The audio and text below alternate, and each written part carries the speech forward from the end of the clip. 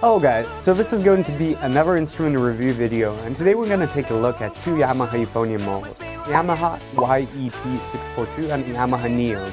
I'm going to share my opinion on tone quality and production, accuracy, intonation, valves, design, and price based on my testing experience at the US Army Band Tuba Euphonium Conference in Washington DC. So stay with me if you want to hear my review on Yamaha Euphonium.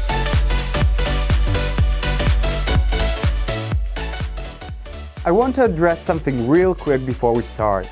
None of these review videos I make are sponsored by any of the companies that I feature in these videos.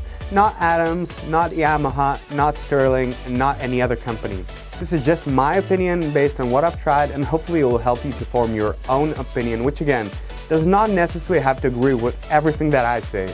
I play Sterling euphonium and that's my instrument of choice. That doesn't mean I don't think there are other great euphoniums on the market worth mentioning.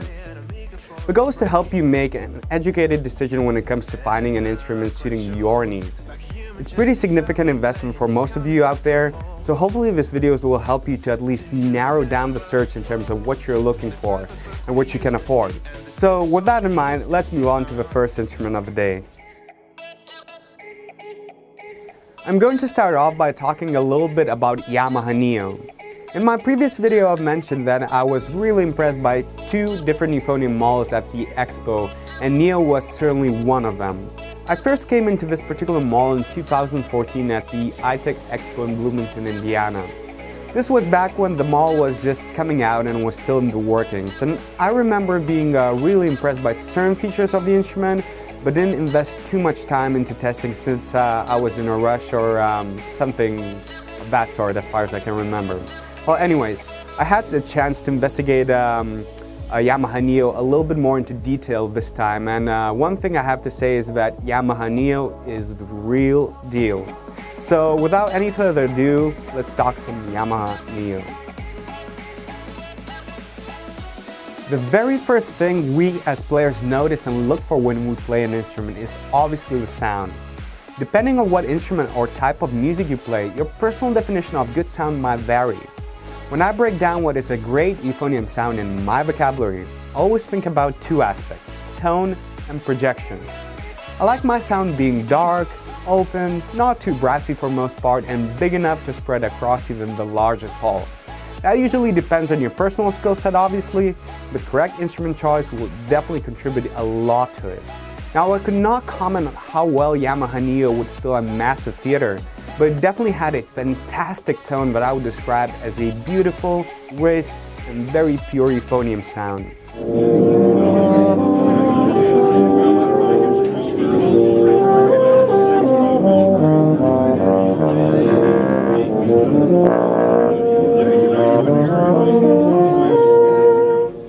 I tried playing the instrument pretty loud and it seemed that it wasn't sensitive to brightening up at all. So I would assume would probably do a pretty good job in band environment and larger halls. However, that is something that you only figure out once you play the instrument in that type of surroundings for a while. That being said, I love the tone quality and projection that Yamaha Neo produced, so a huge thumbs up here. Let's move on to the accuracy. I was extremely impressed with the accuracy of the instrument, especially when it came to the high register. Neo alongside Eastman Euphonium, which I will discuss in a later video, had a hands down the craziest centering in the upper notes I've tried on any euphonium period.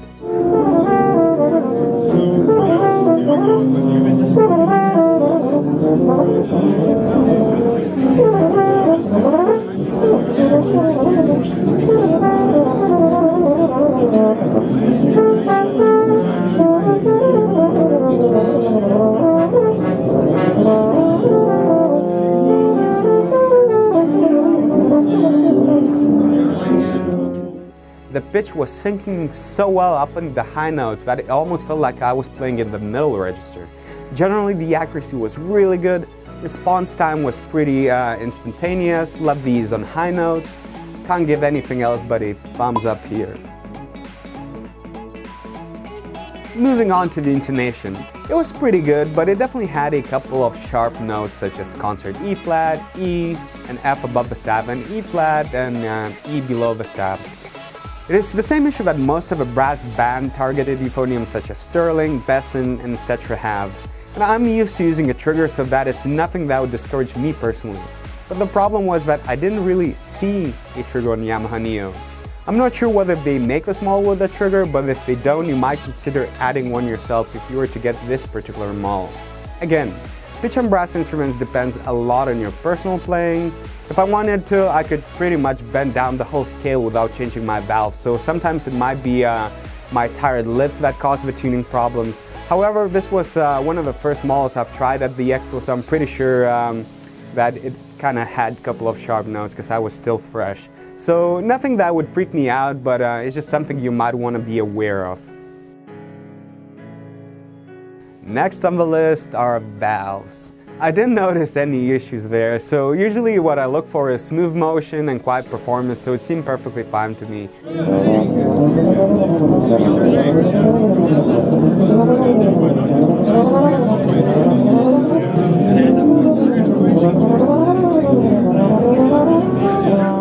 Valve tops were comfortable, valves moved nice, fast and quick, so definitely let's give a thumbs up and move on. Next on the list is design. And Neo seemed to be built very well and comfortable to hold. The angle of the lead pipe allowed me to keep the instrument really up close to my body, what felt really nice on my shoulders, and it didn't seem to be all that heavy at all as well, so generally looked pleasing to the eyes, so I definitely enjoyed the design of Yamaha Neo, and I'm giving my thumbs up here as well. Last but not the least was the price. Now, the DF Music booth had Yamaha Neo for 5,745 US dollars, which in my opinion is an excellent price for a professional line euphonium. From all the professional euphonium models I would recommend to people, Yamaha Neo was one of, if not the cheapest euphonium out there. So a huge thumbs up to Yamaha for not overpricing this model. To sum it all up, I was extremely impressed by Yamaha Neo from the short test amount of time I've had. Obviously, I'm positive I could get a better clue of the all pros and cons of this particular model if I was to play it a little bit more extensively uh, for a longer period of time, but I feel that Yamaha made a huge progress by making Neo a very complete and well-rounded instrument to play on. I would definitely put Neo as my top 5 favorite euphoniums on the market at the moment. With that in mind, let's move on to the Yamaha YEP642. So Yamaha YEP642 was the very first euphonium I've tried at the expo and even though it is an extremely popular model amongst euphonium players, especially in the USA, I wasn't all that impressed by when I was summing it up as a complete package. There were some nice qualities about this model, but some things I didn't particularly like all that much based on my taste, so let's talk a little bit more in depth about it. Yamaha YEP642 was the very first euphonium I've tried at the expo. And as soon as I started making some noise, I've noticed that the sound was pretty shallow, almost like those all non-compensating euphoniums. And at first I thought it might be uh, me since uh, it was early morning and uh, I haven't had much sleep or time to warm up. There were a lot of people playing around, so figured I might just, you know, not getting the most accurate representation of a sound considering the circumstances. However, as soon as I put the mouthpiece into my own instrument, it instantly struck me that Yamaha YEP642 did indeed have a smallish, more shallow sound.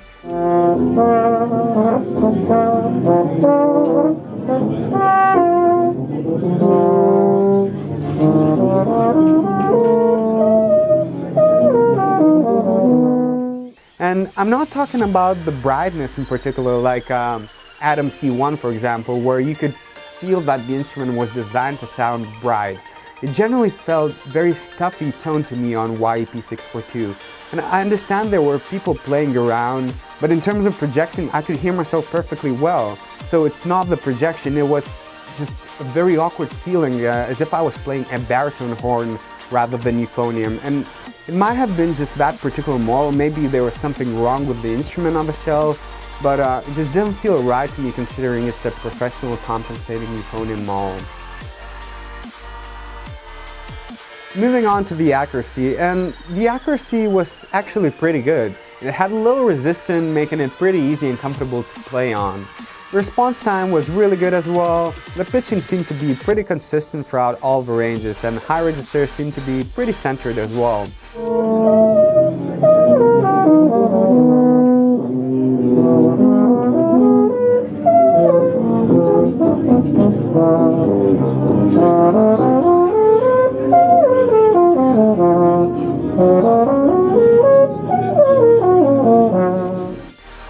For sure, a thumbs up when it comes to YEP 642 accuracy and centering.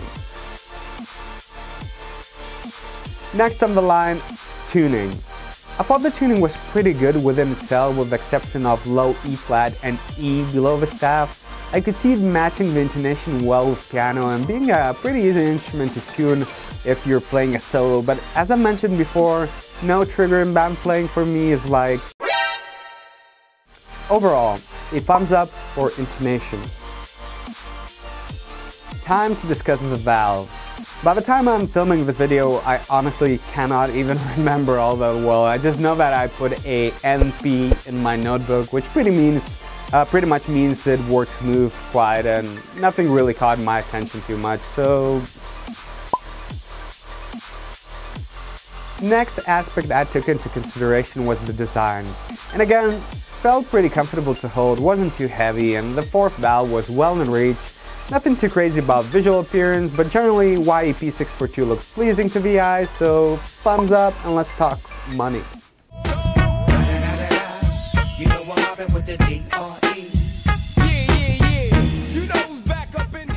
The price for Yamaha YEP642 at DF Music Booth stood for 4,295 US dollars. Even though it's quite a bit cheaper than Yamaha Neo, I honestly believe you could find a more well-rounded euphonium Mollis for closer to like $3,000. I know that it might just be me having bad luck with that particular uh, instrument on the shelf, and that the general quality of Yamaha's um, and the reputation is that they're pretty consistent with it. But uh, this was the euphonium on the display, so can't blame me for giving my opinion. Overall, it's not much of a secret that Yamaha is one of the largest brass instrument companies with long history of successful euphonium and other instrument models.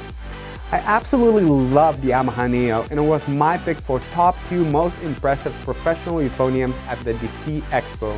It played really well and the price was very reasonable. Obviously YEP 642 did not impress me all that much, but it's just my impression guys. It doesn't mean that you'll have the same experience. I just hope that these videos will help to narrow down the list of choices for people who don't necessarily have a chance to test every single model uh, of euphoniums on the market.